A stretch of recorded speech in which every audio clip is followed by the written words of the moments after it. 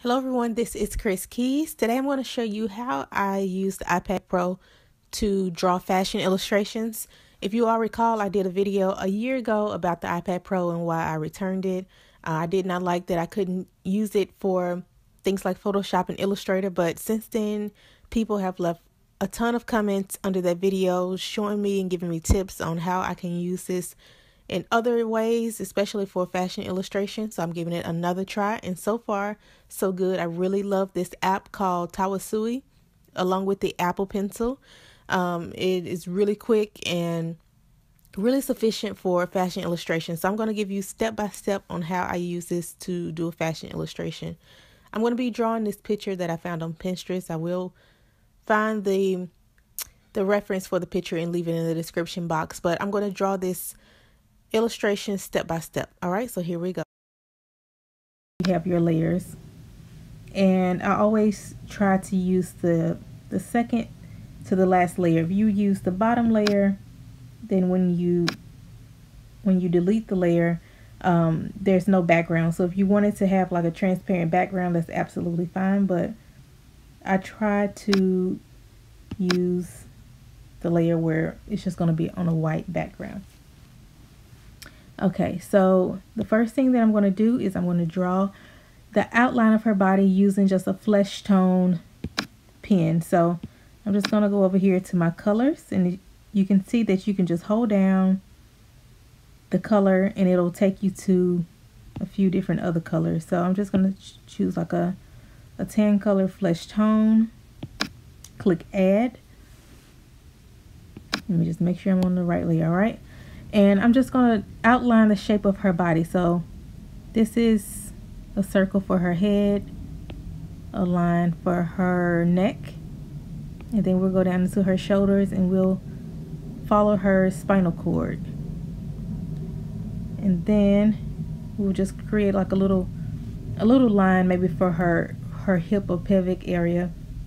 And then I will go out to illustrate her legs and then a little indentation for her feet. All right, so that's pretty much all we need outlined. So I'm just to turn down the opacity of this layer. So you just go to the layer, you go to the layer options, which is this little toolbar wheel on the left side of the layer. And then I'm just to take the opacity down. This is probably down to about 25 or 30% so I can draw on top of it. All right, so I'm just to go to a new layer. I'm going to change the color to black. And then I'm going to start to draw her features in. And the easy thing about this is that I already have the outline of her body. That's the most important thing is to just draw the outline first. And of course, if once you start getting used to drawing the body, you can stop drawing the outline. You don't have to do that. But this is what I still use to this day even though I've been illustrating for years, it just helps to it helps to give you composition and it helps to just make the illustration flow a lot faster. Okay, so I'm just going to draw her face. She's showing her profile.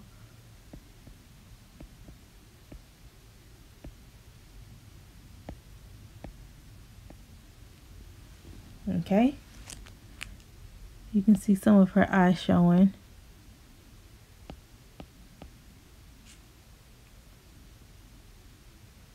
and then I'm going to draw her neck. And I always like oh let me show you guys the erase the how to undo. So these two arrows in the top right corner is how you undo and redo. So if I want to put it back I just click the arrow going to the right.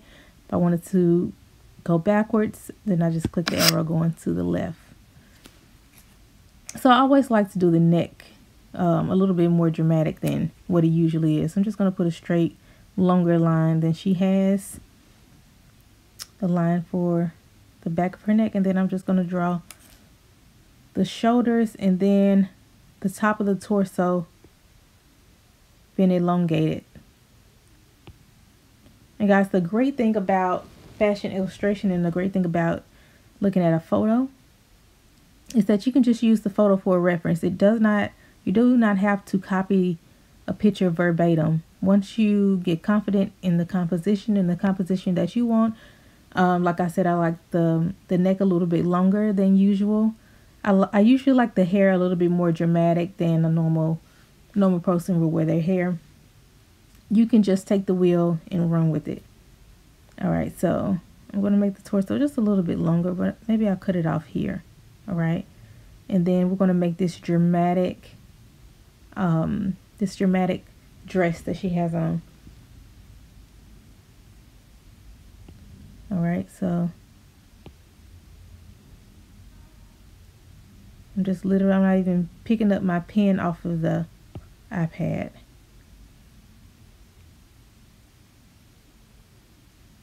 Then I'm going to create a few more ruffles, loose lines at the bottom so that it looks like it's more volume on her skirt.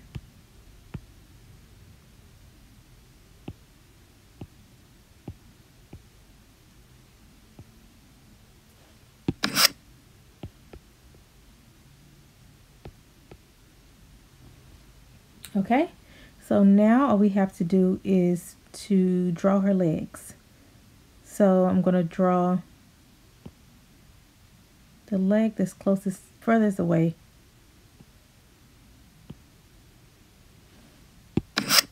And you can also, you can also remove this toolbar. Sometimes it gets in the way. I, I like to fill up the whole page. So you can remove this toolbar by clicking this little 90 degree angle in the left bottom corner. So I'm just going to get that out of the way. Take her legs down. I'm going to draw the bottom leg.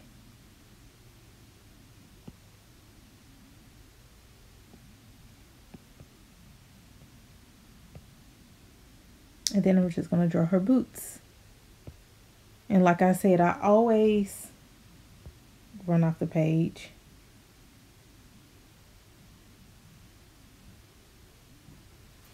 So I'm not gonna I'm not gonna try to stuff that at the bottom of the page. I'm just gonna act like her feet her shoes are going off the bottom of the page which is just as fine.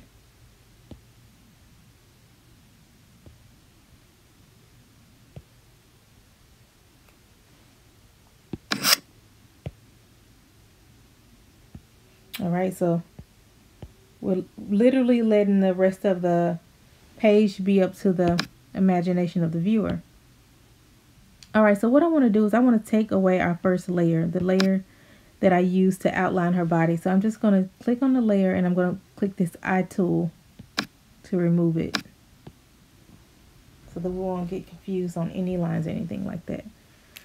So now what I want to do, and you can create this in a new layer if you want to. A lot of times I like to have a layer for the body, a layer for the facial features, and then a layer for the hair. And then if I'm putting any color onto the, any patterns of color onto the, onto the clothes, then I have a layer for the, the clothes or a layer completely for color. But I'm just going to create it in the same layer. So I'm just going to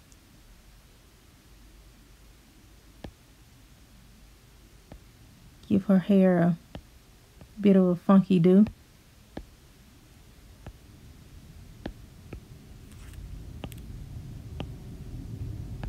Like it's going out. I'm also going to give her some earrings.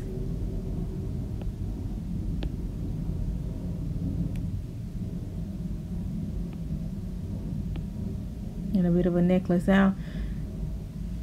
On this picture, you cannot see the arms. See, this is like a a silhouette of a girl. So I want her to have some arms. And I don't want the arms to, you could do an arm kind of coming into a pocket maybe. That'll work. Or you could just have the arms just like falling down. Now the last thing that I'm going to do is I'm just going to clean this up. So I'm just going to take my eraser tool the eraser tool is the fourth uh, item from the bottom of the toolbar. And I'm going to take the smaller, so they have they have different sizes and different um not widths but different strengths of the eraser. I'm just going to take the second one. And I'm going to start to erase any marks that I don't want visible.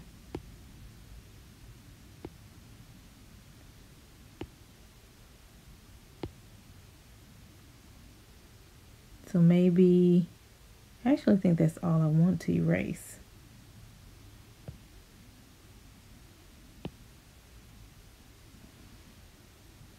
Yeah, that's all I want to erase. And then I'm just going to go in to her face and just put in a few more details.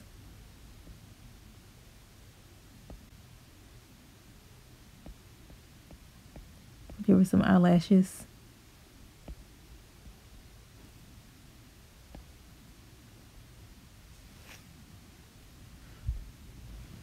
All right, now to me, that is just complete. Maybe I'll take the eraser tool and get this line here. I think I erased too much. All right, that's a smaller eraser.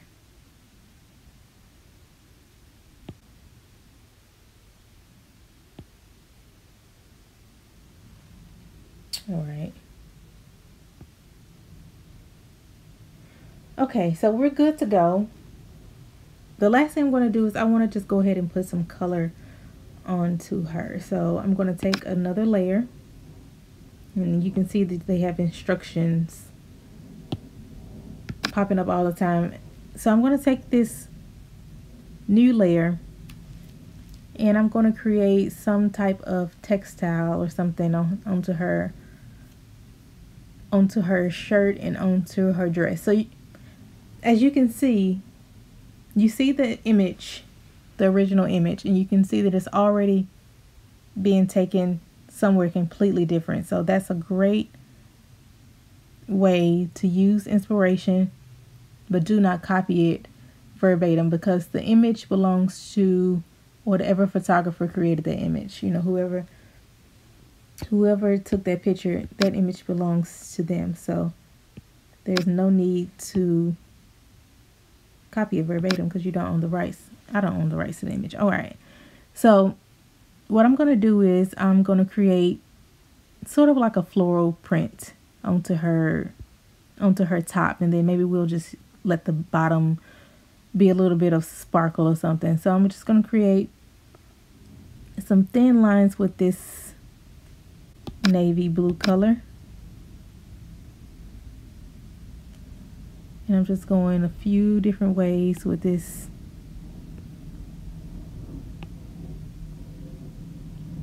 with my pen. I'm going to take the smaller brush tool. And I'm going to go back to the bigger brush tool and I'm going to start to create flower petals.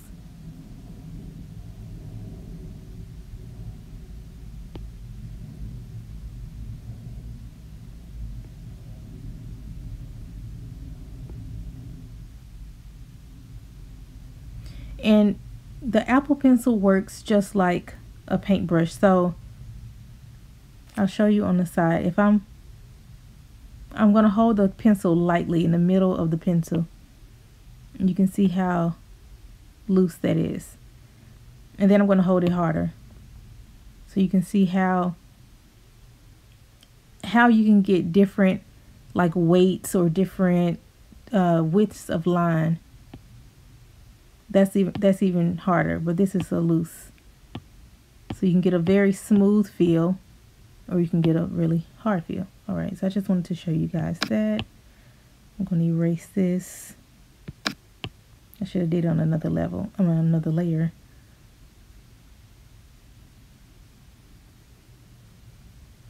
Okay back to our flower paintings. I just wanted to show you guys that. All right here we go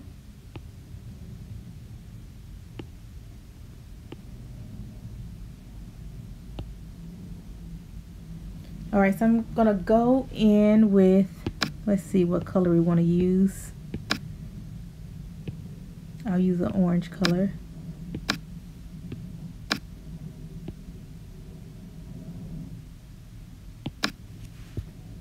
And create some more flowers on here. So you really can go crazy with creating um, texture and patterns and I'm just using one brush. So there are as you can see all these brushes that are popping up there are tons of different types of brushes that you can use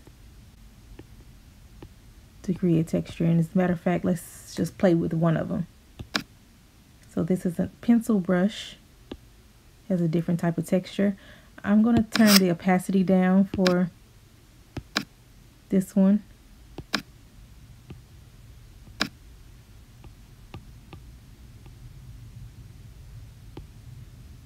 So as you can see, this is creating another texture. And that's the key to getting these digital drawings to look realistic is just to play with the different the different types of brushes. Because if you were coloring on watercolor paper then these textures would just happen naturally because watercolor paper is textured and then your with your brush marks on it it's just going to become textured. So play along with this. This is also, they also have watercolor brushes in here. And I'll do a whole nother video on how to use the watercolor brushes because I'm still learning to be honest. Okay, so you get the point.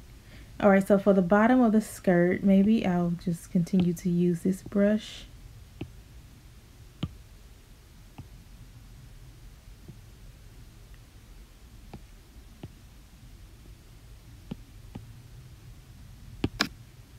Back to this layer. You can have a darker tone of orange.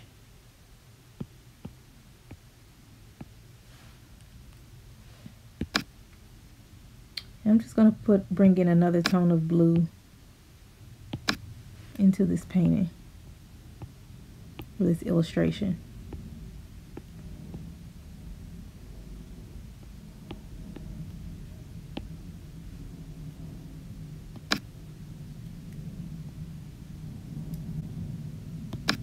I'm just going to create a few lines for sparkle in the earrings.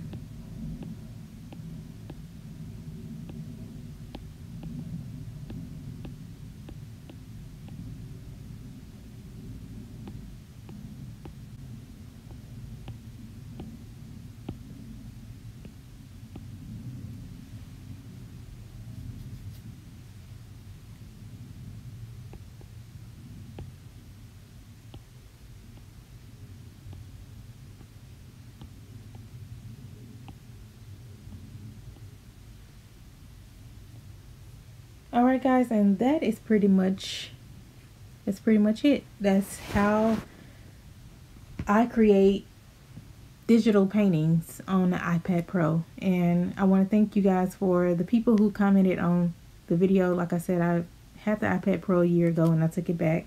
So the people who gave me tips on other programs to use I'm still slowly people are still giving me programs that I can use on the iPad Pro almost every single day. So I'm still trying it out, still figuring out how to work this. This is just an app that I absolutely love and it has been a lifesaver so far for commissions.